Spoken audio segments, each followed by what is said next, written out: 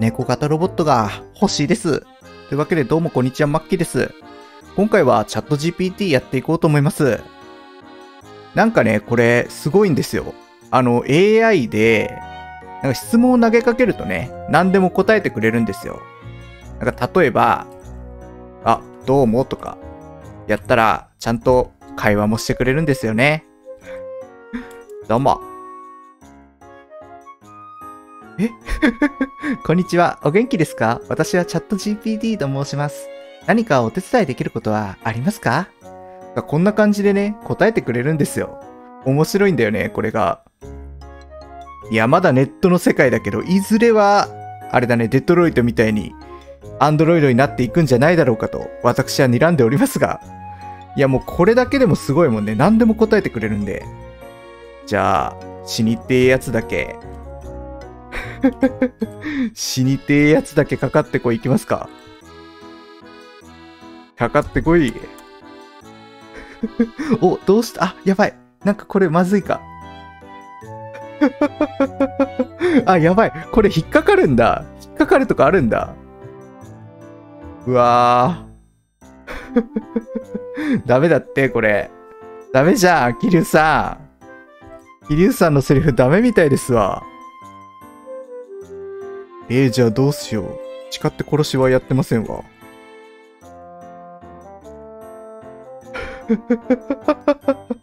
あ、まずいまずいまずい。心理的サポートとか言われてんだけど。どうした？あ、じゃあ最初は、桐生一馬を知っていますかにしようか。桐生一馬を、し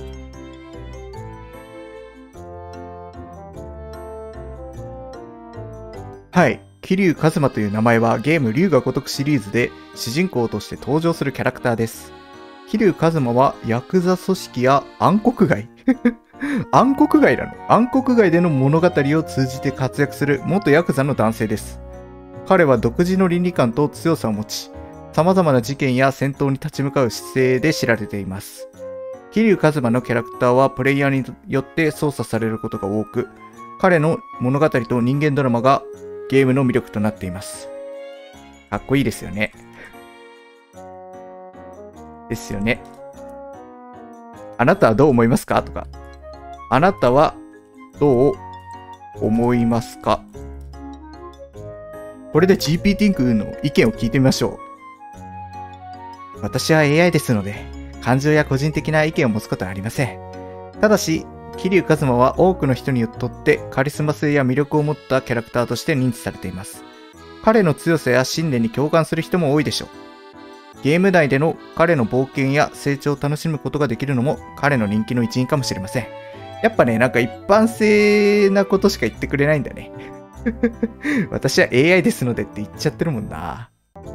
じゃあ、えー、っと、島野の狂犬を知っていますかって。狂犬を知っていますか？知らないんだ。知らないんだ。申し訳ありません。私の知識ベースでは、島野の狂犬っていう情報を見つけることできなかったって。えっと、ま、あ、教えてあげようか。真島五郎のことです。覚えておかないと 危険ですよ。危険ですよ。お、申し訳ありませんでした。真島五郎については知ってるんだね。お彼は主人公桐生一馬の親友であり、信頼のおける相棒として描かれています。お相棒なんだ、やっぱり。あ？真島五郎は元刑事であり、これ違う違う違う。違う。これ伊達さんじゃ。何言ってんだよ、こいつ。頭おかしいんじゃねえか、GPT。桐生と共に様々な事件や戦闘を経験し、彼との絆や協力関係を、協力関係が物語を盛り上げていますと。彼の冷静沈着さや戦闘力、そして情に熱い一面などが彼の魅力とされています。真島五郎の存在は、プレイヤーやストーリーラインにおいて重要な要素となっています。えっ、ー、と、真島五郎。真島五郎ではなく、伊達誠のことではないですか？誠は真だよね。真でいくか。真実の真。では、ないですか？おっと、失礼しました。伊達誠についてお話しいただいてるので、いや、違います、違います。あなたが勝手に言ってるんです。あ？待って待って、なんかおかしくない？伊達誠は竜が如くシリーズに登場するキャラクターで、桐生一馬の仲間の一人です。彼はヤクザ組織の幹部であり え、なんかこれ、ん？間違ってない？逆になってない？真島五郎と伊達誠を逆に捉えてないか？え、強いリーダーシップと戦闘能力を持っていると。伊達誠は桐生との絆や信頼関係を通じて物語の中で重要な役割を果たしています。彼の風格やカリスマ性、そして桐生との友情は多くの人、プレイヤーにとって印象的な要素となっています。ご指摘いただきありがとうございました。ん？何言ってんだ ?GPT 君が間違ってますよ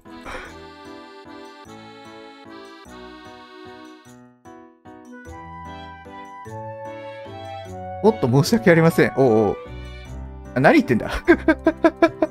何言ってんだ、こいつ。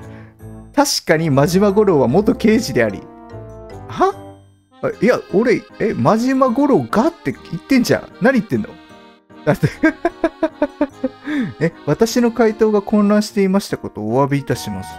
何言ってんだ？え？え、なんか、GPT 君、この子ダメだな。まだ弱いな。あ、じゃあもう、堂島の竜知ってますかにしようか。なんか、ダメみたいだよな。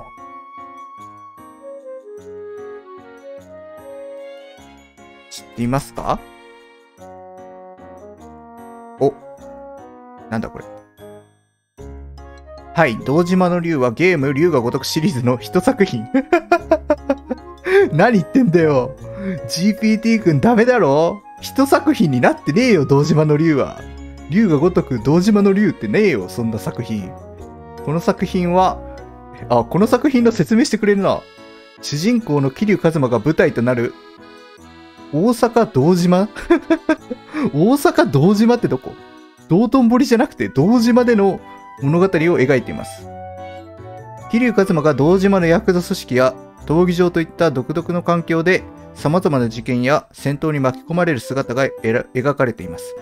これ、おそらく、竜が如くゼロと、なんかちょっと混じってんだ。うん。でも舞台となる、主人公の桐生一馬が舞台となる街の大阪って、竜が如くゼロは途中で大阪には行くけど、主の街ではないよね。極み2なんじゃないの？大阪は。でもそうなると、堂島の竜じゃなくて、あれだもんね、関西の竜とかも出てきて、あの、竜二との話がっていうことになりそうなもんだけどな。まあいいか。堂島の竜は、大阪の風景や文化、地元のキャラクターたちとの交流を通じて独自の魅力を持った作品となっています。また、ゲーム内のストーリー展開やアクション要素も人気を集めています 架空のゲーム出てきたんだけど、面白いな、こいつ。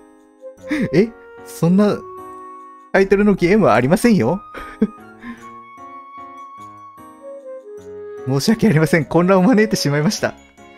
ああ、堂島の竜という具体的なゲームタイトルは存在しません。何言ってんだ、じゃあお前。一作品って言ってんじゃねえかよ。ダメだ。話が通じないみたいだ、この子。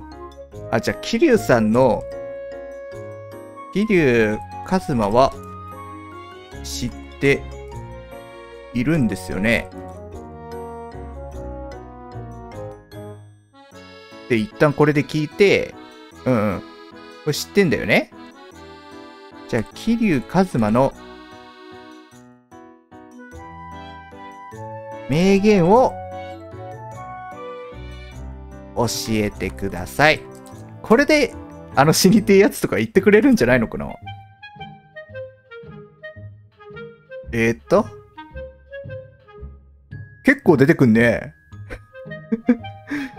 俺はただの男だ。でも誰かを守るためには、ただの男でも立ち上がらなきゃならない時があるんだ。え、これ、何のセリフ？え、これ、こんなセリフ言ってたっけ？弱い者をいじめる奴は強い者になった時に必ず挫折する。え、こんなセリフ俺覚えてないな。命がけで守るべきものがある時。それは正義とは言わない。男のプライドだ。え、こんなこと言ってたっけ？人は変われる。だから俺も変われるんだ。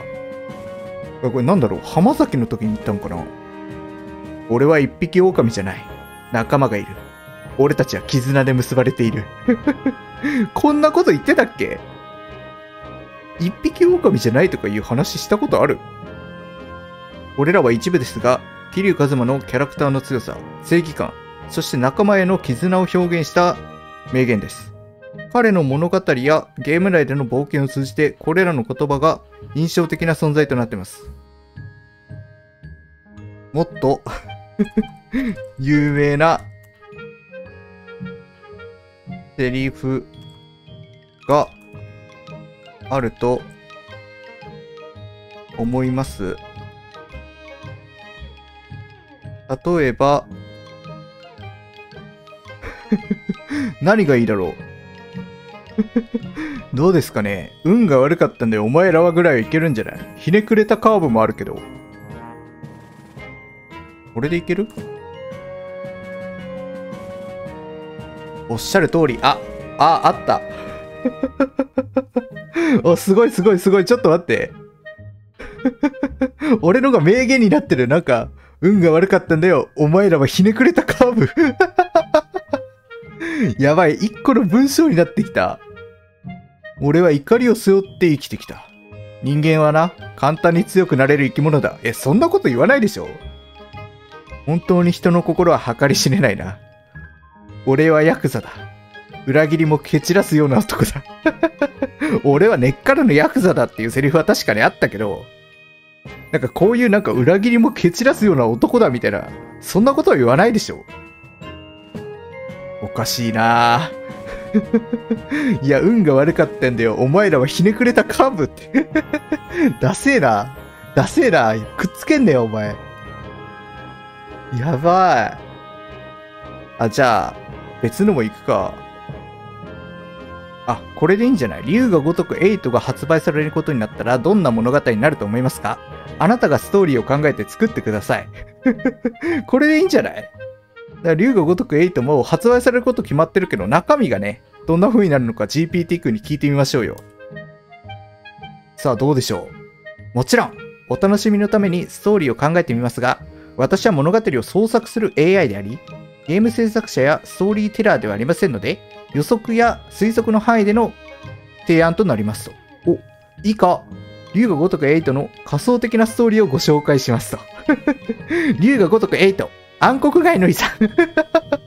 すごい、なんかコナンみたいになってる。コナンみたいだな、なんか。えー、物語は新たな主人公、川島大輝に焦点を当てます。誰川島大輝って？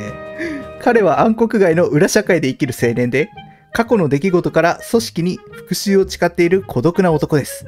大輝はかつて敬愛していた兄貴分が組織内の陰謀に巻き込まれ、命を落としたことを知ります。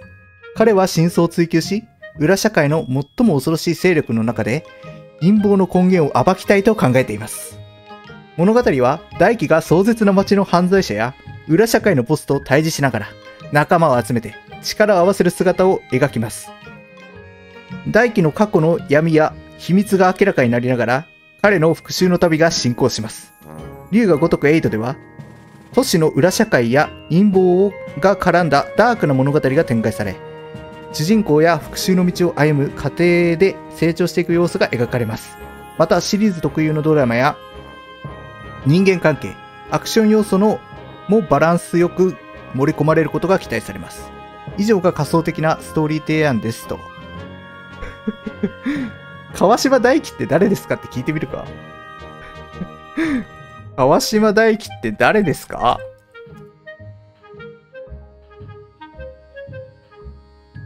川島大輝は、私の先ほどの仮想的なストーリー、竜が如く8、暗黒街の遺産において架空の主人公として紹介されたキャラクターです。ああ、現実の竜が如くシリーズにおいては川島大輝という名前は存在しませんと。ちょ、なんで なんで川島大輝にしたんですか？